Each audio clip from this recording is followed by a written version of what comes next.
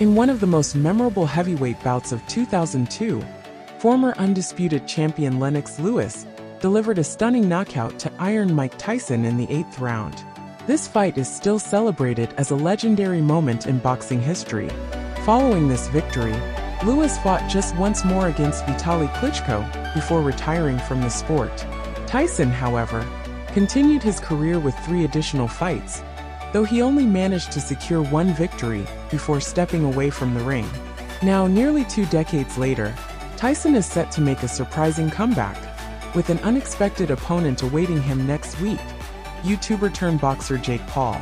Jake Paul, at 27, has transformed from a social media star into a notable figure in boxing, attracting massive attention with his matches. He has an impressive record of 10 wins and only one loss, which came at the hands of Tommy Fury, a novice professional. Despite his popularity, however, Lewis is skeptical of Paul's boxing prowess. In an interview with Title Sports Network, Lewis was asked to rank Paul's standing in professional boxing. Without hesitation, Lewis dismissed his skills bluntly saying, Zero.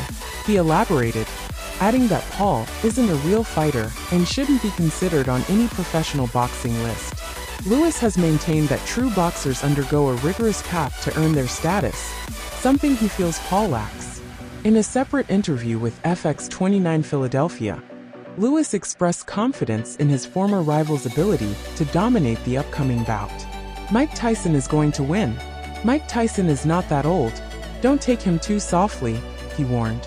Lewis did acknowledge that age might be a factor if the fight extends into later rounds, but he believes Tyson's power and speed could make a difference early on.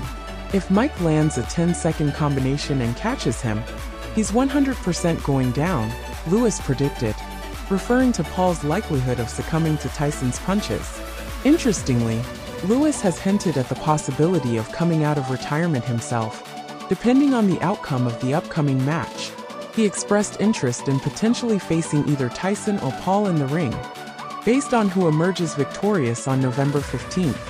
Fans of the sport would undoubtedly be thrilled to see such a return, with a match involving any of these three fighters promising high excitement and viewership.